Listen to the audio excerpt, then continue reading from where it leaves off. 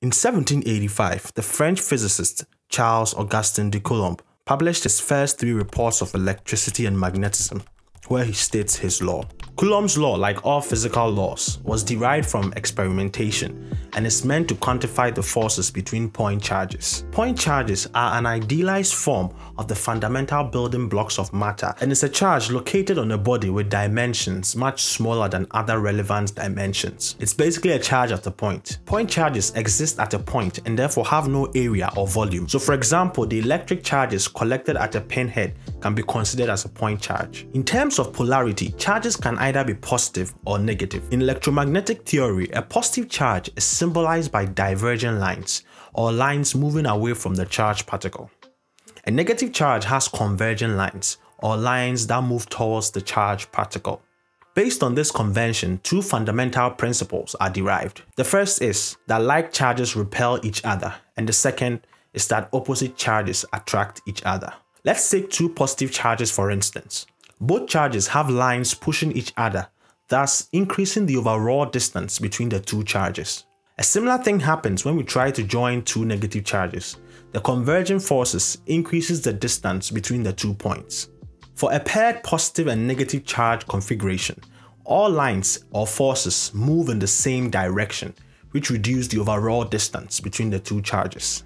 Charges are usually measured in coulombs, with 1 coulomb representing 6 times 10 to the power 18 electrons. A coulomb is a large unit of charge as the charge of a single electron is minus 1.6 times 10 to the power minus 19 coulombs, where the minus sign represents the polarity of the charge. The charge in coulombs of a proton has the same magnitude as the charge in coulombs of an electron but with a positive polarity. Now that you have a fair understanding of what charges are, let us go on to discuss Coulomb's law. Coulomb's law or Coulomb's inverse square law states that the force between two point charges is along the line joining them and is directly proportional to the product of the point charges but inversely proportional to the square of the distance between the two point charges. From this law, we can deduce three statements. First of all, the force between the two point charges will be a straight line joining both charges.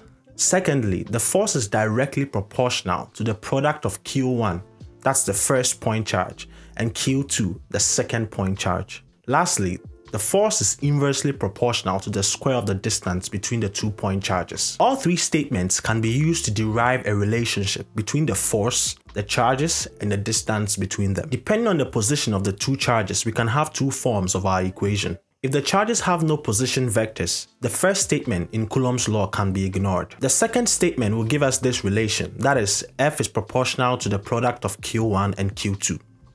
The last statement can be transcribed into this relationship, that is f is proportional to the inverse square of the distance r. Now we can combine both equations to form one scalar equation, which gives us f is proportional to the product of q1 and q2 divided by r squared times k, where k is the constant of proportionality. The constant of proportionality, also known as Coulomb's constant, depends on the system of units used. In SI units, which is what we're using in this video, the charges Q1 and Q2 are in coulombs, that's C. The distance r is in meters, and the force is in newtons. The constant k is therefore 1 divided by 4 times pi times epsilon naught where epsilon naught is the permittivity of free space giving us 8 times 85 times 10 to the power minus 12 farads per meter. Permittivity is simply defined as the degree of how much a dielectric can be polarized. A material with high permittivity polarizes more in response to an applied electric field than a material with low permittivity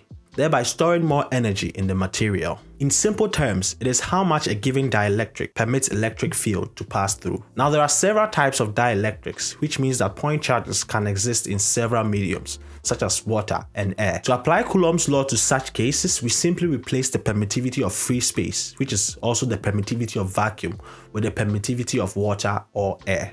Take this question for instance. Two protons are on either side of an electron, as shown below. The electron is 30 micrometers away from the proton on its left and 10 micrometers away from the proton on its right. What is the magnitude and direction of the net electric force acting on the electron? Now we've been given the constant of proportionality in this question and the charge of a proton. First of all, the net force on the electron is the sum of the forces between the electron and each of the protons. That's F1 plus F2. These forces are given by Coulomb's law. F equals the proportionality constant K times Q1 Q2 divided by R squared. To find F1 and F2, we simply substitute their respective values, which gives F1 as 2.56 times 10 to the power minus 19 newtons, and F2 as 2.3 times 10 to the power minus 18 newtons.